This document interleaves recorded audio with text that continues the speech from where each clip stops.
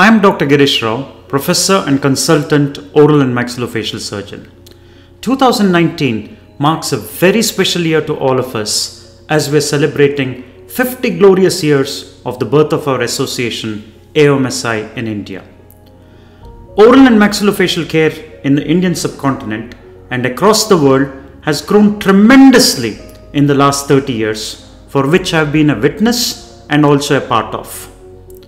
In my journey of 30 years into the field, I've seen the specialty grow from simple oral surgical procedures such as wiring and intermaxillary fixation to today, where we practice cutting edge technologies in craniofacial surgeries, oral cancer, reconstructive facial surgeries, cleft lip and palate, trauma surgeries, aesthetic facial surgeries, endoscopic, robotic surgeries, and many more.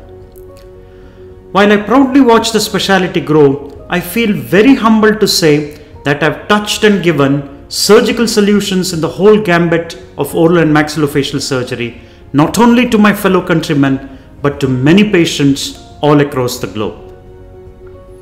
At this juncture, I would like to thank my parents, my wife, my teachers, my mentors, my fellow colleagues, my students, and more important, my patients who have inspired me to continue my contributions into this great specialities.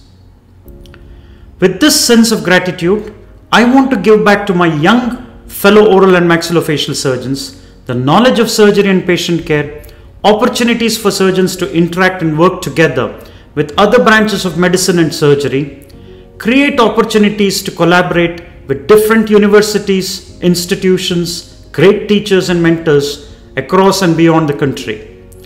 Opportunities in the field of research and development to bring in a lot more value to the budding young surgeons, giving equal opportunities to everyone. Let us work and grow together as a strong team of oral and maxillofacial surgeons. Let's make our specialty proud as we uplift our profession to the pinnacle of medicine and to help humanity with surgical solutions. Thank you.